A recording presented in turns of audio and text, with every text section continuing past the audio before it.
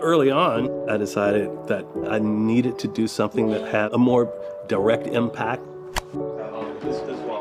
which then led to the founding of Project Houses.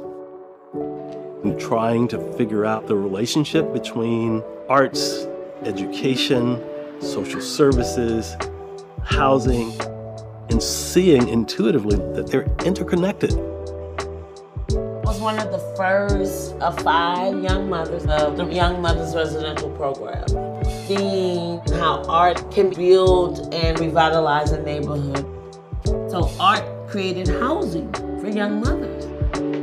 Art created a market, a laundromat. Art did that.